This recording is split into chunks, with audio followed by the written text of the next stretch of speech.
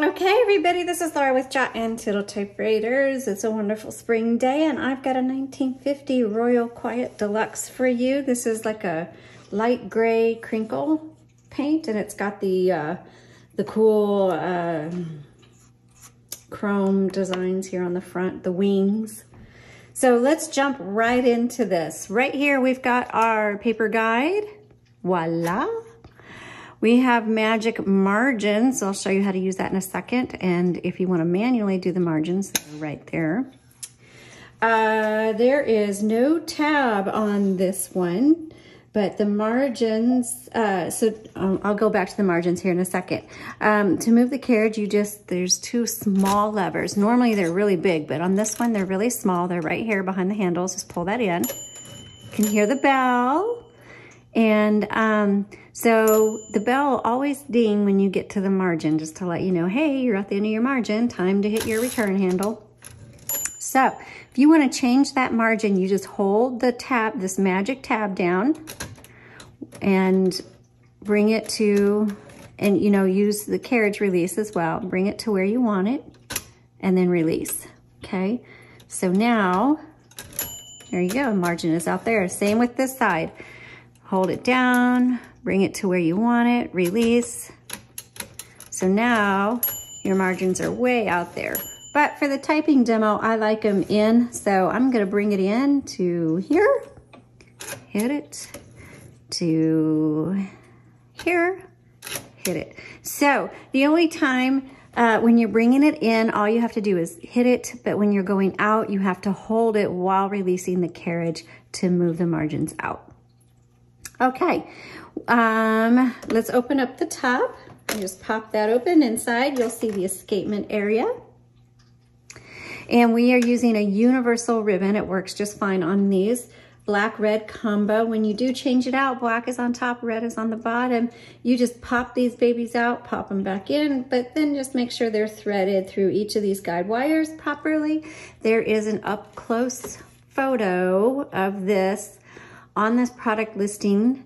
If you use the link in the description, it takes you right to that. Even if it's sold, you can access it. Um, but once it is sold, you can only access it using the link that's in that description. So save that link or go to the link and then bookmark the photo, whatever you want to do. Okay. Um, these are called type bars. This determines how hard these type bars are going to strike your paper. It's called touch control and you just adjust it to what you want. When you get to the end of the ribbon on your spool, you need to manually reverse. This is not an auto reverse ribbon. And to do that, it's right here. and so you just go back and forth dozens of times before you need to change out that ribbon because there's a lot of ink on there. Also, to change the color, it's on red right now. Switch it over to red. The white selector, and um, let me so you have white, black, red. The white selector means stencil. You will never use that and the typewriter won't type properly if it's on that. So if you are typing and you have issues when you're typing, there could be two things. One, try reversing the direction of your ribbon. And two, make sure it's not on stencil and that it's firmly on one of these colors, okay? All right, let's go ahead and do a typing demo. So just set the paper right there, turn the handle, make sure the paper goes underneath your bar.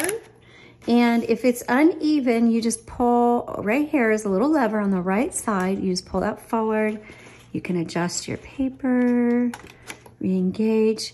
And then on the left side, when you hit the return handle, it's gonna advance one, two, or three lines. This is your line selector right here, okay? This lever next to the numbers. Now, the one that's closer into the paper, that's gonna release this roller so that you can, let's say you, you just need some fine tuning. Maybe you wanna do a superscript or a subscript, or you're trying to line up with lined paper or put an X in a box or something like that, and it doesn't, it's not easy to do that. You just pull this forward, it releases that, and you can do that. But make sure you re-engage, otherwise it's not gonna advance properly. Let's go ahead and do a typing demo. So this is a 1950. I use the lowercase l for your number one, 1950. Royal Quiet Deluxe.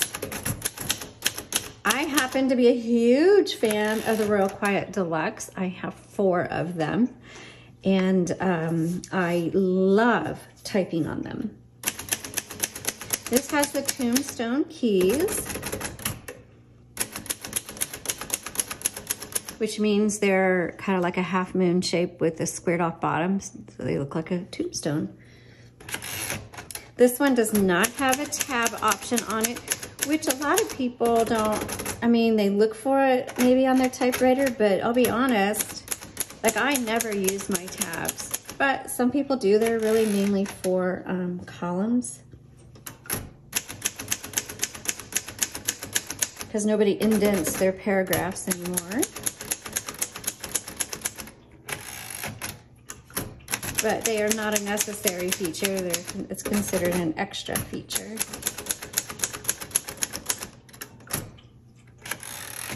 Okay, let's do some sentences.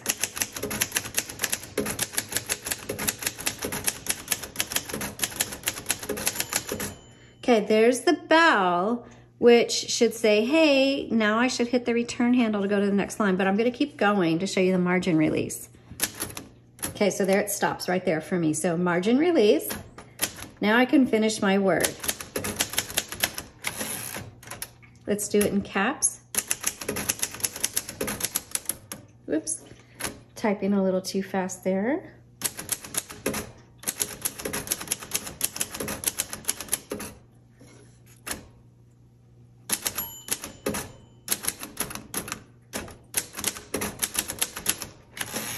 Let's do the red. We'll give that R a little work, that R was a little sticky there, so we'll work it over so it's not sticky for you. And I do have, if you go to my typewriter tips, we do have a video on how to uh, maintain your sticky keys, which is, it happens. It's, um, if you have the expectation that your typewriter, your keys will never stick on you, you have an um, unrealistic expectation. That's just part of having a typewriter. So um, go to typewriter tips and watch that video and it's super easy. You just need Q-tips and um, mineral spirits and that's it. Okay, red.